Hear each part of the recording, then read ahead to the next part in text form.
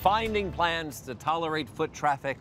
It's really, it's sort of like poetic. It's like It- this. Wow. No, it's wow. Yeah, were you You writing know what? a poem? I will tell you this. I will tell. No, I'll leave that up to Diane. She's great with poems. Um, that foot traffic area where you walk over all the time, you want to have plants that grow in that area, and it's a challenge. But fortunately, Shirley Bovshow loves a good challenge. I do. And she's here to help us find a solution for Yes, this. yes. yes. And Well, by the way, can I just really quickly say how amazing you're looking? I know, Thank Shirley. you. I- when we were in rehearsal, I noted I meant to say something, but You can always take time for a compliment. Isn't that the truth? Right? You look beautiful. you're- we're out of time. But thank you so much. That's it. But I look good today. That's all that really matters. Take us through what you have. here. Okay, you well, have here's the thing. You would think that you could just use any plant that's short as a paver planting, as we have our walkway here Mm-hmm. with our beautiful little crevice plants. But, you know, it's important. Some people don't ever plant there and it's a trip hazard. Yeah. Or they plant something that is not going to do well. And a lot of people think, well, why don't you just use grass? Yeah. Right. Okay, I want to show you. Number one, grass, if it's planted in little strips like that, Yeah. tends to die. It needs a lot of water. You need to mow it still Mm-hmm. in between those true, pavers. yep. And let me show you why, though, grass has always been a steppable plant. Number one, here's some St. Augustine. Take a look at those beefy roots Oh, underneath yeah. the soil. There's roots over the soil. So Goodness. touch this. Especially with It's the St. cushy, isn't it? Yeah, It's yeah. cushy. So when there's Yeah. pressure on here, it bounces back. There's Yeah. cushion. So there actually are plants that you can buy and select for your area that have a similar type of root system that will not allow your plant to die. It'll bounce back. And I have some What are those plants? Okay, well, I have Dymondia here. If you like that grassy look, but you're not gonna put grass, Dymondia is really pretty. It's got the green and it's got even little white little margins around it so it glistens in the sun. Something about Dymondia, also, it, you see how thick this is? Yeah. So you smash it, it comes back up. Mm-hmm. This is beautiful for a sunny area. I was going to say, can we just shade and sun too? Because Yes, I had oh. some in both challenging areas. Right. So this is okay in sun. Eh, That's sun.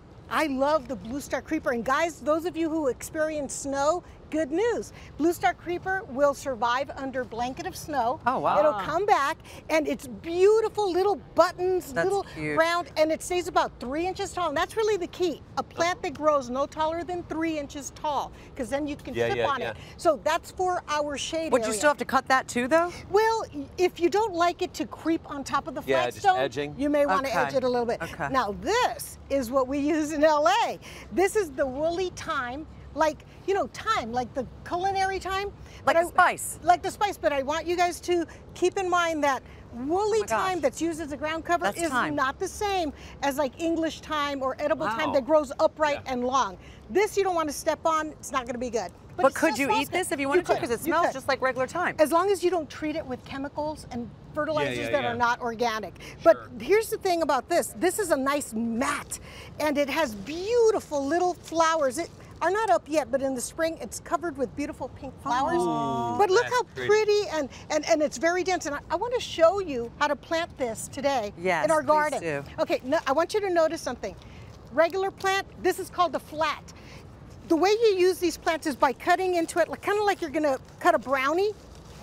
Use a sharp knife, and then You just pull it apart. I just pull it apart Just in little that? pe- manageable Oh, really? pieces, just like this.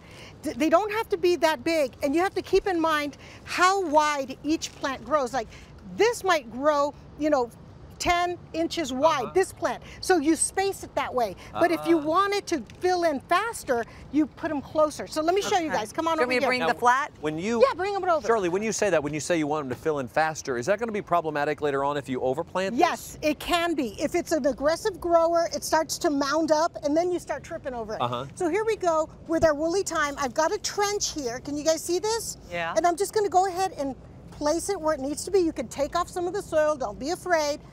And I'm just going to place it a little I mean, bit you closer. really just ripped it apart. Just it like that. no rhyme or reason. That's right. And it'll just like take this. over. It'll just take over, and then I'm going to backfill it just like you plant, and make sure you get the soil, you know, up to the paver uh, area so that it doesn't have any holes in it.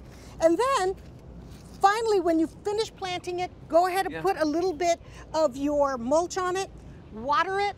And soon you're going to be able to walk on What it. is the It's really watering cool. situation for something like that? Is it similar to grass? Uh, no, and that's the beauty of it. Guys, grass takes a lot of water. Yeah. If you naturally have water, good for you, but we don't. Yeah. A lot of other people don't.